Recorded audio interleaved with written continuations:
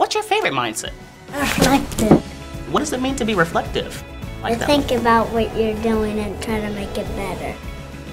is that first step for them to being able to solve that problem because they're taking the moment to reflect on what is not working in their design. It's important to take a moment to reflect on it and think, hey, what went really well? What didn't go so well? What do I learn from this?